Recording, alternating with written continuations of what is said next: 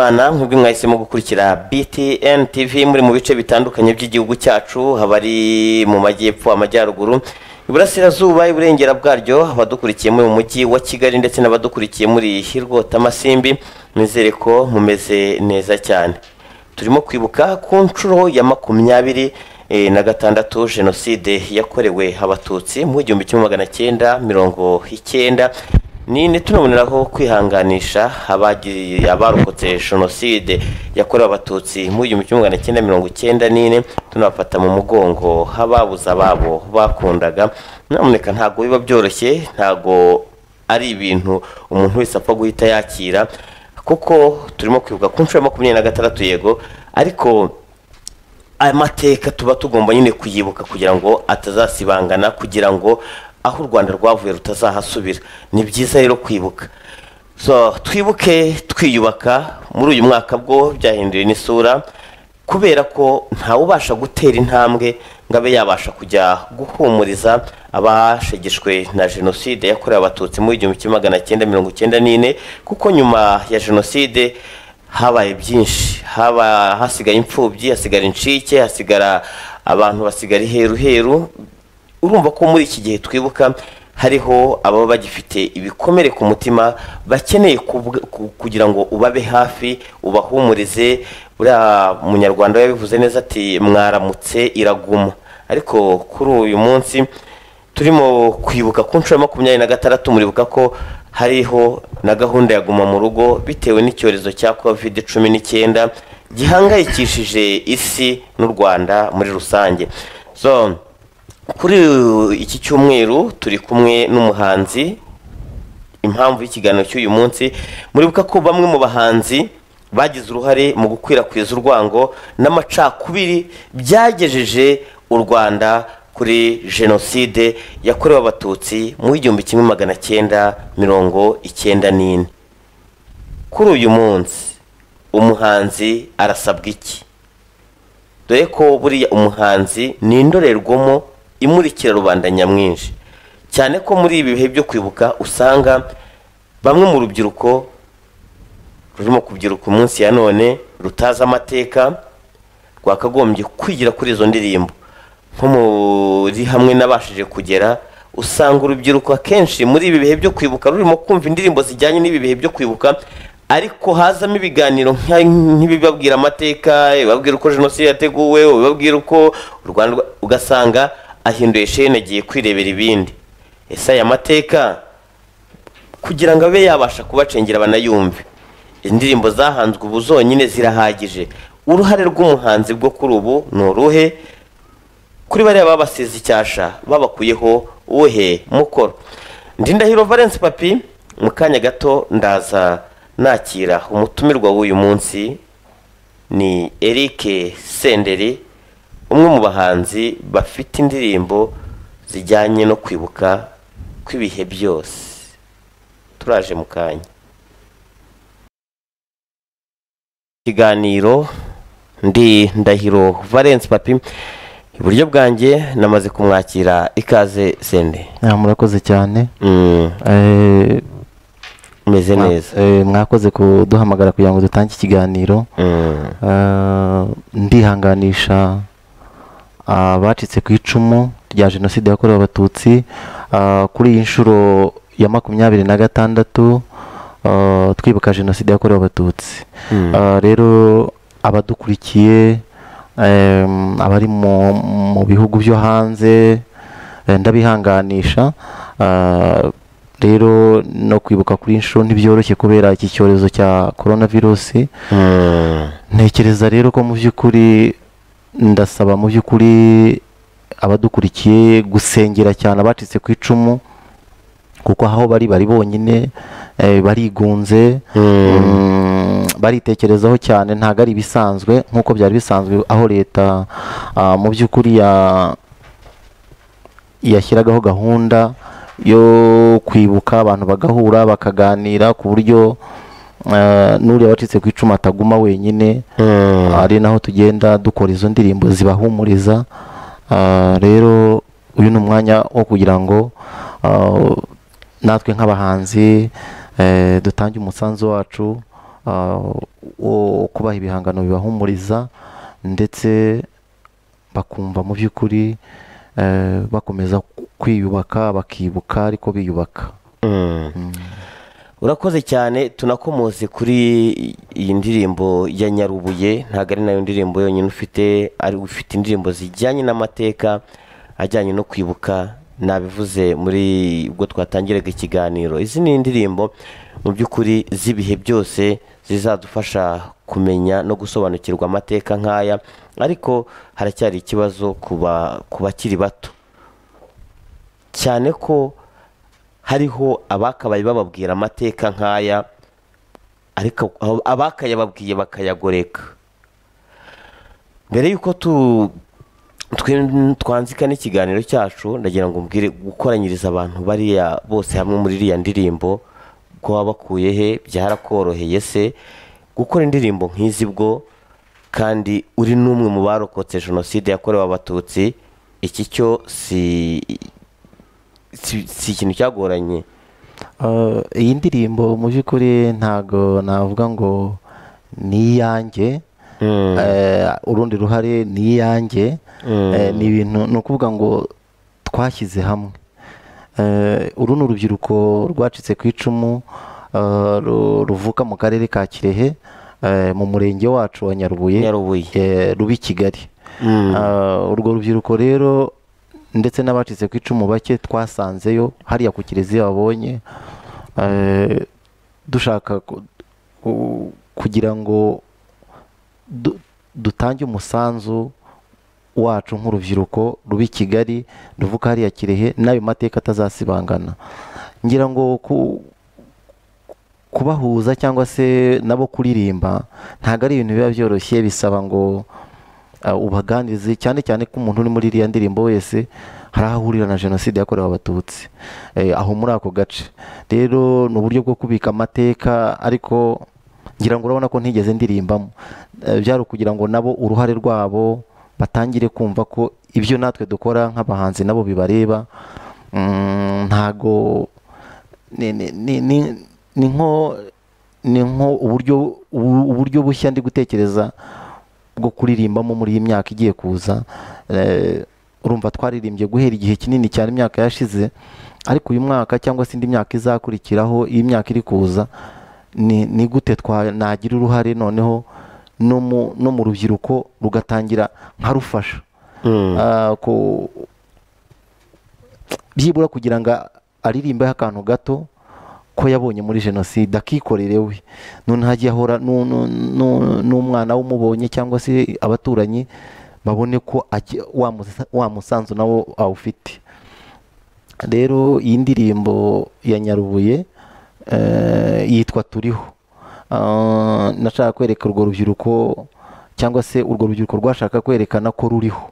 Ah, hari igihe wakicara ukavuga ariko se urubyiruko na bariya ni bake hari benshi ariko se uru rubyiruko rw'akarere ka kirehe rwacikiye ku icumu muri aka gace ka nyarubuye rubayeho rutigeze ukamenya amateka yaho bakayagusobanurira usanga mu by'ukuri abashaririye. Ariko se yadusangizeho Eh, nta ndaza kuyabasa ntabwo nabasangiza aka kanya ni maremare. Mm. gusa eh, nihaboneka umwanya nzagenda nyabaganiriza ariko urebye uburyo bu- buke ni uko uru rubyiruko nageragezaga kurubwira ngo urubonye yarubona ah, ruhagaze rute ese ruriyubatse ese ruratinyuka kuba rwagira icyo ruvuga mu byababayeho bike eh, yari iyo nzira nto ah, urabona ko nta muntu uririmba amasegonda mirongo ine ariko byibura uyibonye abona ko bagerageje rero ni nayita indirimbo yabo ni ubufatanye rero mu myaka iza ndatekereza noneho hari nk'abakecuru usanga bigunze abagabo bakuru bigunze baritekerezaho cyane ni gute wa wabaha umwanya nabo bakagira icyo bavuga? Nimba ari mu mivugo nimba ari mu ndirimbo jyewe niyo nzira ndi gutekereza mu ndirimbo ngiye guko- gukomeza gusohora ubu ngubu yego. Ah, bitandukanye n'uko abandi yenda ba- baririmba ah, mu kuririmba ku giti cyabo cyangwa se amakorari ndashaka guha umwanya kwibuka ah, biciye mu mu mu ba- mu rubyiruko rwacitse ku icumu Mm. ku buryo ari rwo rwikorera ibyo bintu. Ariko turi kumwe ndi hafi yabo. Yego. Yes rero niyo nzira twakozemo iriya ndirimbo yo kwibuka jenoside yakorewe abatutsi nyarubuye aho buri muntu wese agenda avugamo akantu gato gato ariko bikakwereka ko byibura batangiye gutinyuka baga- bakaririmba ah, mu buryo bwo bwo kubohoka kugira icyo bavuga. Usanga harimo n'abataragira icyo bavuga. Iyi ni intambwe rero. So urakoze cyane senderi. Ndagira ngo wenda n'abadukurikiye bamenye umuzi cyangwa se impamvu nyamukuru yo gutumira senderi muri iki gihe cyo kwibuka ku nshuro ya makumyabiri na gatandatu jenoside yakorewe abatutsi.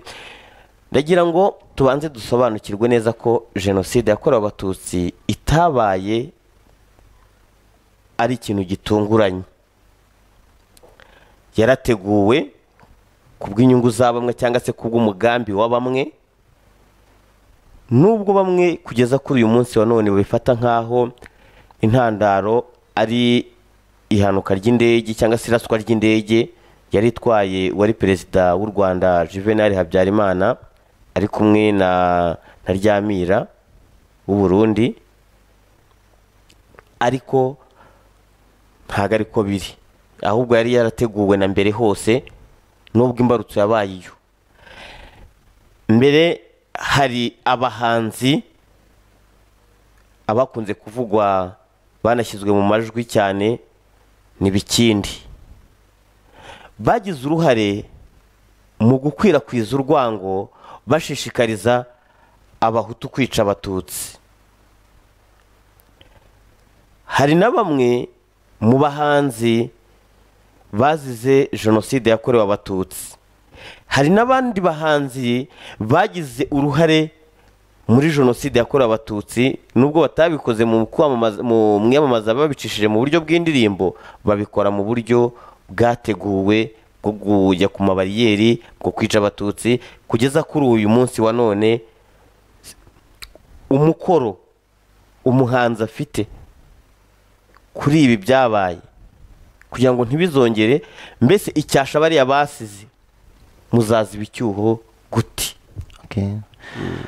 Eh, ndashaka ku kubwira abadukurikiye mm, kwanza twatangiye tutabifurije pasika nziza.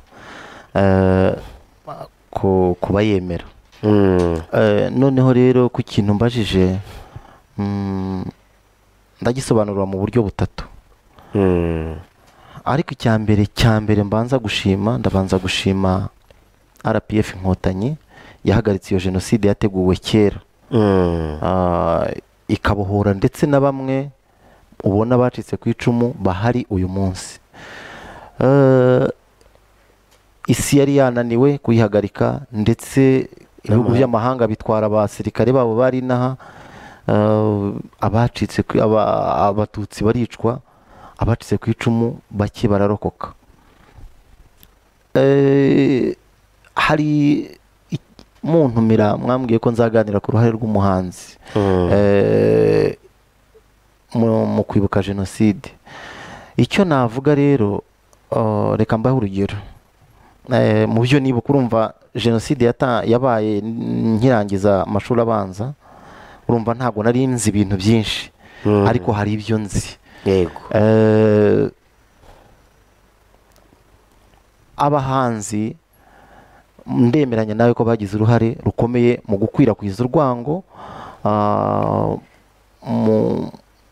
mu gushishikariza urugo ku rugo ah, mu ijwi ryabo ry'abahanzi mu kuranga no kurangira eh, no, mu buryo bwa, gihanzi bwinjira mu bwenge bw'umuntu mu- ukunda umuziki mu buryo bwo kwica abatutsi Mm. ingero zirahari ariko abahanzi ntabwo ndakora ubushakashatsi bwabyo bajya bavuga umwe witwa bikindi eh, urumva ntabwo nari muzi cyane cyangwa umurebe muri muri icyo gihe cya jenoside. Numvaga indirimbo ze kuri radiyo rwanda urumva na radiyo yari iya leta ikazicishaho. Eh, Ah, narazumvaga noneho naho nciriye ubwenge nkuze eh, mbashije kumenya gusobanukirwa mu by'ukuri uko izo ndirimbo zaba ikindi zaba iby'urwango narabikurikiye n'abari ku ma youtube barazikurikira bakazumva bakamenya urwo rwango yari afite. Ariko hari n'abantu bibeshya cyane rero yenda si ukwibeshya yenda ni amakuru make ko bikindi ari we cyane washishikarije eh, urwango mu rwego rwa gihanzi. Ari ku isonga ndabyemera. Ariko hari nk'ibintu byitwaga bare nasiyonari amabare. Amabare. Eh, hari ibintu byitwaga ah, mbese ni amatsinda yabaga mu- muri buri muri buri twakita serire. Hari za nyumba kumi hakaba n'amaserire. Amasegiteri eh, n'amasegiteri Eh, ayo masegiteri yari arimo abakangurambaga bakomeye cyane eh, mu buryo bw'igihanzi bazi no guhanga kuko baririmbaga ibintu noneho bihuza rubanda bihuza abaturage ariko bikangurira eh, kwica abatutsi. Rero babiba urwango. babiba urwango. Ako kantu ndagira ngo bikindi uyoboye mu by'ukuri urwo rwango nuko we yari public figures ya yari hariyo nkurikiye mbona ko yakoraga ngo no muri minisiteri eh, y'urubyiruko rw'icyo gihe. Mm. Eh, sinzi ahantu nabisomye ariko hari icyo bita za bare nasiyonari z'amakomine. Iza segiteri. Nazo hari ukuntu ba- bari bafite noneho hari uburyo bo njya mbireba nkanabyibuka icyo gihe eh, nk'aho twari dutuye nyine ugasanga nka segiteri yambara ukwayo. Mm. Eh, ariko mu buryo bw'i- by'iki- by'icyitwaga byitwaga menya ngo ni abantu bo muri muvoma. Izo bare zabaga zikomeye ku buryo zaririmbaga n'ivumbi rigatumuka ariko harimo urwango urabyumva? Ndabyibuka isura ndazibuka ugasanga hari n'ukuntu babaga bafite umuriri wo kugenda. Yenda tuvuge bagendaga n'amaguru. Ntabwo bo bagendaga ni ukuvuga amaguru n'ingoma. N'ingoma mu muhanda. Ariko ubwo ni ukuvuga bagiye tuvuge izo bare za segiteri zivuye muri serire babanzaga guhuza amaserire ayo maserire akazajya guhurira kuri segiteri buri wa gatatu ndetse ngira na buri wa gatandatu ariko biga ariko hazaba nk'ibirori bya komine ugasanga ba bantu ko bazaga n'iyo nka ntiyasigaragayo Mm. Ah, mu buryo bwo gushishikariza no gukwirakwiza rero byarorohaga cyane eh, uretse uriya bikindi wabaga uri ku ruhembe afashwa na- n'ubuyobozi Mm. hari izo bari na zo bazazikoreho ubushakashatsi ababishinzwe eh, ku buryo ah, nk'ubu ngubu yenda hari icyo ndi hari igitabo ndi kwandika nzasohora mu myaka nk'itatu ine nimbona ubushobozi ariko hari n'ababishinzwe ba- ba- ba- nzanyuraho baka- bakadufasha n'icyo kintu cy'ubushakashatsi cyo kuri abo bantu kubiba urwango biciye mu mivugo kubiba urwango biciye muri mu bukangurambaga bwabaga muri segiteri eh, bikagera ku rwego rw'igihugu. Yego. Abo bantu barahari n'uyu munsi. Abo bantu eh, baguha n'amakuru. Rero urwo rwango rwabibwe rwabibwe n'abahanzi bamwe ndetse harimo n'ababaga muri za orukesitire ntabwo ndamenya izo ari zo ndacyari kuzishakisha ku buryo orukesitire usanga harimo abantu ba- bishwe muri jenoside mu marokesitire amwe ariko ugasanga harimo n'abakoze jenoside muri ayo ma orukesitire Mm. Eh, sindashakisha amakuru eh, yabyo ariko nyine mu byo ntekereza na byo birimo kuzabamenya ku buryo tuzajya tuvuga ngo uruhare turibuka abahanzi baje- bazize jenoside. Ba- baririmbanaga na- na- n'aba aba nibo bagize uruhare mu kubatanga cyangwa se iyo jenoside yabasanze mu ngo. Eh, uruhare rw'umuhanzi rwo n'abanyamakuru ruragaragara. Eh, nimba kuko buriya kugira ngo umuhanzi agere kure abicisha mu muyoboro uba yashyizweho w'itangazamakuru Mm. Eh, ntago namenyekana ngo umenye Eric Senderi um, ntaciye mu itangazamakuru. Icyo cyo ntabwo gishoboka. Mm. rero nko kugira ngo menyekane ni uko hari uruhare itangazamakuru ryangizeho ndamenyekana ariko ntabwo namenyekanye mu bibi nka biriya by'abahanzi bariya bagiye. Namenyekanye mu musanzu wanjye Mm. wo gusana imitima y'abarokotse jenoside iyo kuvuga iterambere ry'igihugu cyahereye kuri zero. Mm, reka nguhe nk'urugero icyenda na kane reka ariho duhera. Ngewe ndibuka ko jenoside igiso iki- iyi- iyi- inkotanyi zimaze guhagarika jenoside. Njyewe ndabizi u rwanda ruhera kuri zeru ni ukuvuga mu rwanda nta kintu gihari. Ibyo bintu ndabizi. N'u rwanda uko rwagiye ruzamuka gake gake ru- rushyiraho gahunda y'ubumwe ndabizi. U rwanda rutera imbere rukagera ku rwego noneho mpuzamahanga rukagaragara ndabizi. N'uyu munsi aho rugeze ndahazi. N'icyerekezo- rufite ndakizi. Rero ntekereza ko uyu musanzu w'igihugu hakabaye mu by'ukuri noneho abahanzi benshi. Bafata iya mbere mu kuvuga ibyiza by'igihugu ibyiza ah, by'u rwanda rwiza rwahagaritse iriya jenoside yakorerwaga abatutsi. Eh, usanga mu by'ukuri urubyiruko rukiri ruke ruvuga ayo mateka ah, yo kugaragaza impin- impinduramatwara y'urwego igihugu kigezeho. Usanga mu by'ukuri byose ni ukwiga cyangwa se kwigishwa eh, n'itangazamakuru uruhare rw'urubyiruko ruzabe rwinshi rufashijwe namwe mu kwerekana ibyiza igihugu cyagezeho. Kuruta ah, kujya kureba mu by'ukuri hari nk'ikintu wa- watangiye uvuga ko nk'urubyiruko rutangiye hagiye kujyamo ibiganiro bivuga ah, ku mateka y'u rwanda usanga akenshi urubyiruko rukuyeho aho rwarebaga rugashyira ahandi hari aho basanga indirimbo. aho rusanga indirimbo.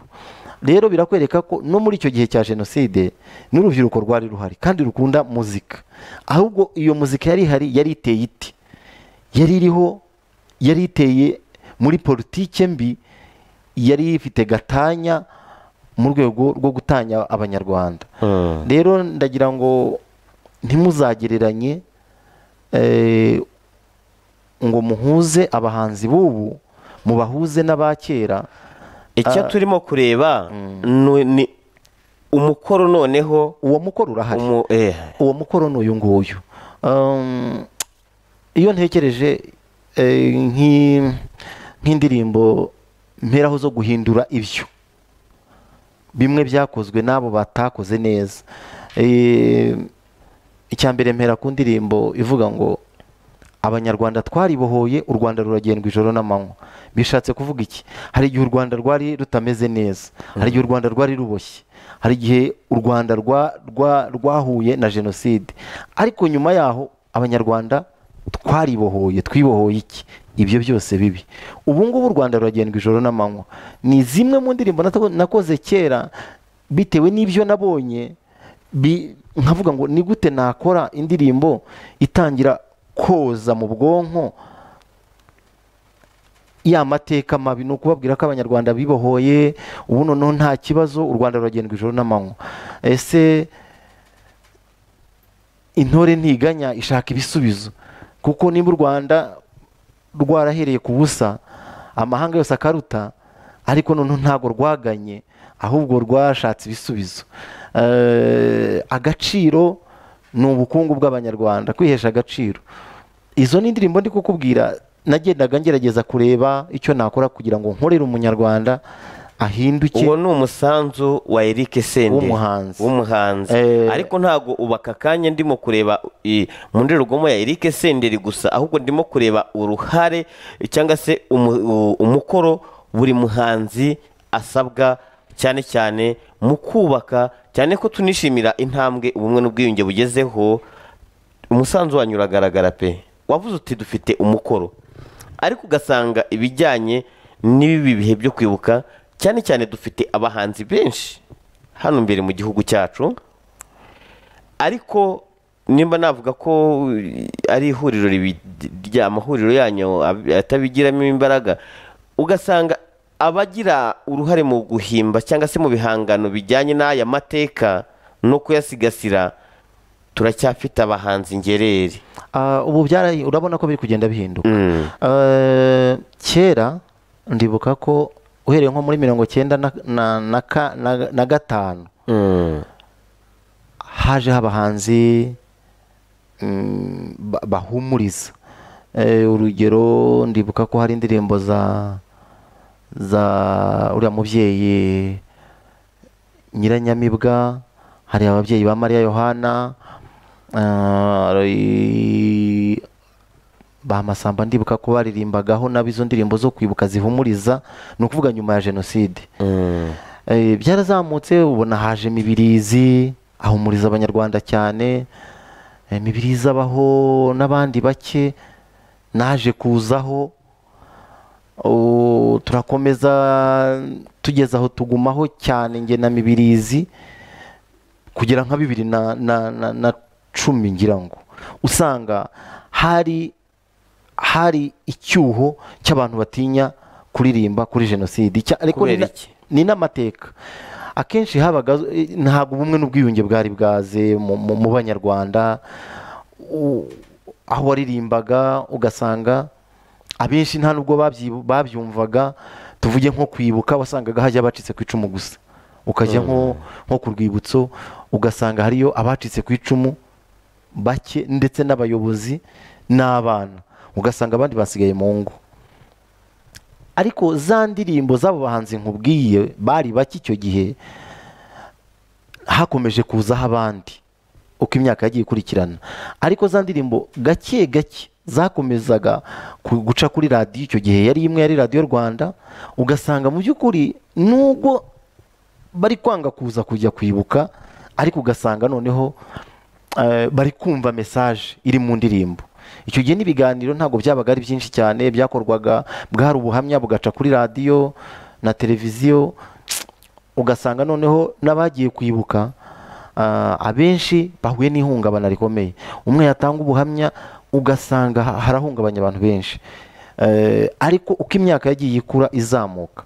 Ah, abantu bagiye bumva kubohoka abenshi noneho na gahunda za leta inzego z'ubuyobozi ibuka senerije ibiraje abantu batangira kwibuka. Mu by'ukuri binyuze mu nzego z'ubuyobozi cyane ingufu zashyizweho ubu n'ubuyobozi zagize uruhare rukomeye cyane. Iyi gahunda ya gacaca biraje abantu Eh. batangira kumenya amakuru. Yego. Kanaka ya- yakoze ibi yishe wa kanaka wo kwa kanaka wo kwa kanaka. Bamushyira aha n'aha n'aha ntaracu- nta- nta- ntibaramukura aho bamushyize. Ugasanga bamwe byibura nubwo yari ababaye afite igikomere ku mutima wacitse ku icumu byibura amenya aho umuntu we ari iyi gacaca na yo yaje kugira uruhare rukomeye ikomezanya n'abahanzi imivugo abahanzi amatorero. Amatorero buriya na yo yagize uruhare rukomeye cyane. Ntabwo navuga ngo itorero iri niri amatorero muri rusange aho umuntu asengera. Uruha- uruhare rw'amatorero rwaragaragaye n'ubuyobozi. Ariko hafi aho habaga hariyo umuhanzi. Umuhanzi kumva umuvugo uciyeho kumva indirimbo iciyeho ariko ihumuriza ba bacitse ku icumu. Rero ndakubwiza ukuri ko uh, uhereye nka bibiri na cumi na kabiri kuzamura kugeza uyu munsi urubyiruko ruririmba cyane rwatangiye gutinyuka. Yewe n'abafite nk'insh- nk'inshuti eh, cyangwa se imiryango imwe yahuye na y'abakoze jenoside usanga harimo n'abana baririmba bitewe n'ubuhamya buhari. Ugasanga bwa bumwe n'ubwiyunge. Harahuriramo byinshi byo ah, baganira iwabo undi abiganiriye mugenzi w'inshuti ye. Ugasanga hari ukuri kumenyekanye bitakagombye kumenyekana. Bwa bumwe bwa bwiyunge bwo guhuza urubyiruko hari amakuru buriya yavutse mashya avuye muri iyo nzira. Eh, hari ibyo twigeze kuvuga hejuru ku bijyanye n'urubyiruko usanga ahanini hazamo ibiganiro bijyanye n'aya mateka ajyanye no kwibuka. Jenoside yakorewe abatutsi mu gihumbi kimwe magana cyenda mirongo icyenda n'ine nuko yagiye itegurwa ugasanga mugani barahinduye nimba ari kureba televiziyo arahinduye ashyize ku yindi shene nimba ari kureba kumva radiyo arahiga tuninze ashyize ahandi. Ubona abahanzi mugiye gukora iki? Kugira ngo uru rubyiruko rube rwabasha gusobanukirwa aya mateka no kuyasigasira mu buryo bw'indirimbo nimba ari ibiganiro byanyu bizongerwa sinzi. Ariko se hagiye gukorwa iki mu gihe tugifite urubyiruko?